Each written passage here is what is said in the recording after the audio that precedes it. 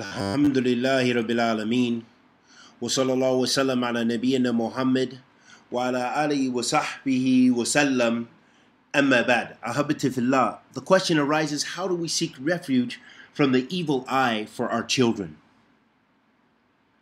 And in a very wonderful compilation by one of our brothers, Abbas Abu Yahya Hafidullah Ta'ala, he mentions some of these fawaid as compiled from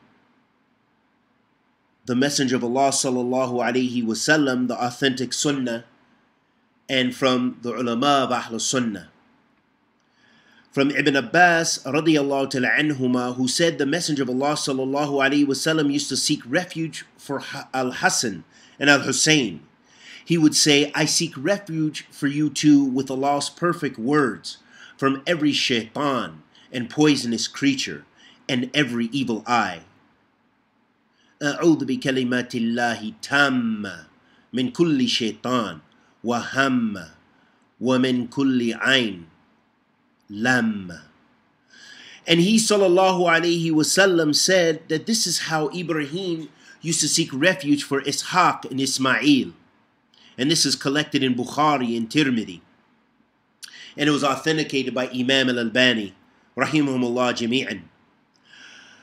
Abu A'la Abdurrahman al Mubarakpuri, rahimullah ta'ala, said, Allah's words, it has been said that they are the Quran.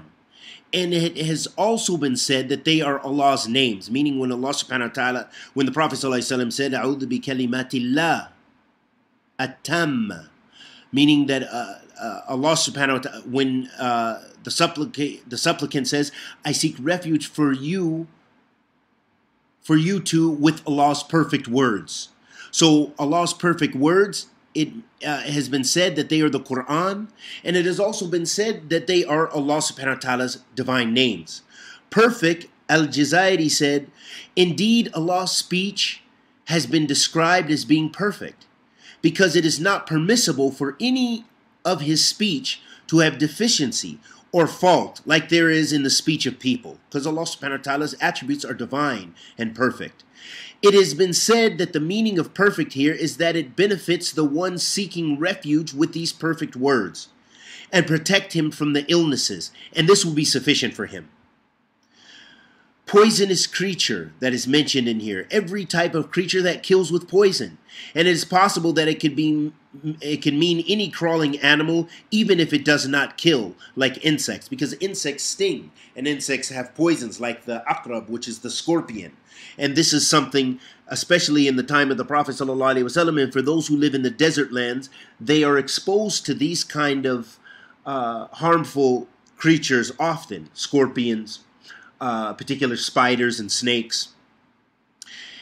Uh, the evil eye, this refers uh, from every evil type of affliction from the eye, whether it be the hasad and the jealousy and people wanting harm to you or your child. So you're seeking refuge in Allah Azza from this evil. How does one seek refuge from the evil eye for children? Imam al-Albani, rahimahullah ta'ala, was asked, the caller said, Assalamu alaikum. He said, Wa alaikum salam.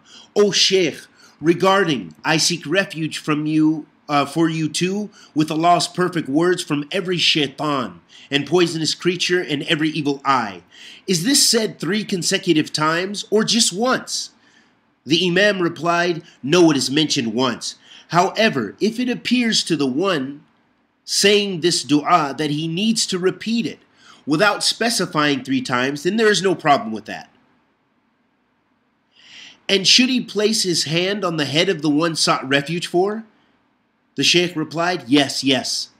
Even in congregation, if it is a group of children together, how can he place his hand upon all of them? He should place his hands, his two hands on one, uh, he should place his two hands on two of the children.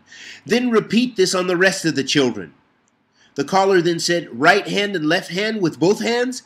The Imam said, Yes, yes. The caller then said, regarding the hadith that the Messenger of Allah وسلم, would not sleep until he recited Surah Al Mulk, Al Isra, Al Zumr, uh, Sajda, Is this when he lies down on his bed at night or before he lies down? The Sheikh said, what is important is that he recites before he falls asleep. Whether it is whilst he is sitting or lying, then it is up to him. And we ask Allah the Almighty to accept our good and forgive our evil. And bless all the ulama of Ahl Sunnah. And bless the brother who was the translator and compiler of this, Yahya uh, ibn Abbas. and may Allah, uh, Abbas Abu Yahya, and may Allah subhanahu wa ta'ala forgive us of our many sins. Wa sallallahu wa sallam ala nabiyyina Muhammad wa ala alihi wa sahbihi wa sallam.